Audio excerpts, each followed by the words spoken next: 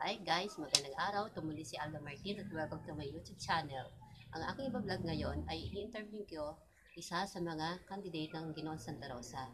Sabi nila, siya daw kamukha ni Miguel Tan Phoenix.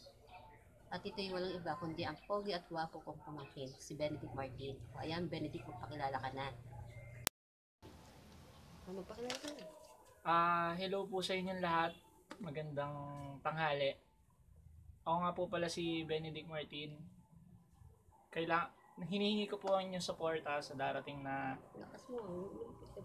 sa darating na March 12 at March 15.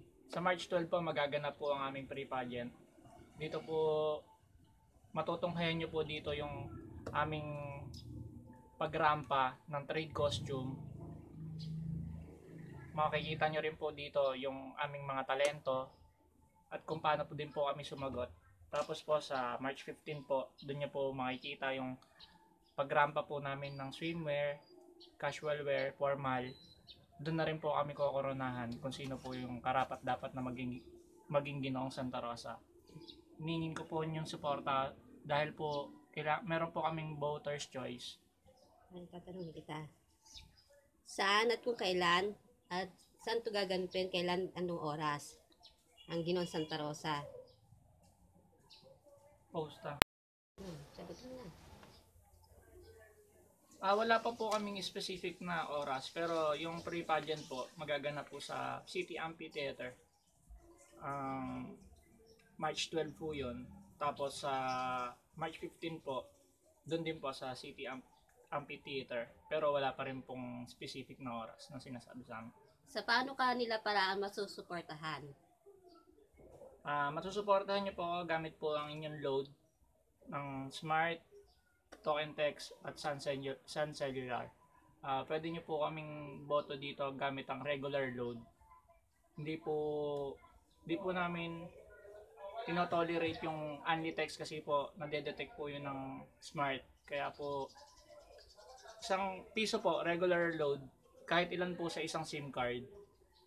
Text nyo lang po ang GSR 20 space 1 sa 7444765.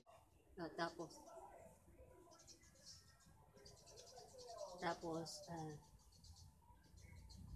sa loob ba ng mismo Santa Rosa lang pwedeng bumoto? Sa nasasakupan lang ng Santa Rosa ang pwedeng bumoto? Kahit hindi po taga Santa Rosa, pwede po kayong bumoto. Pwede nyo po kaming suportahan. Gamit lang po yung load. Ayun lang. O ayan guys, supportan po natin ang aking pamangkin na si Benedict Martin. Maraming salamat. Ay, popost ko na lang po sa inyo kung paano po nyo ite-text ang kanyang, ang inyong mga boto. Maraming salamat po muli. Sige po. O ayan guys ha, huwag niyong kalimutan supportan ng aking pamangkin si Benedict Martin. Kindly like, share, and subscribe my YouTube channel.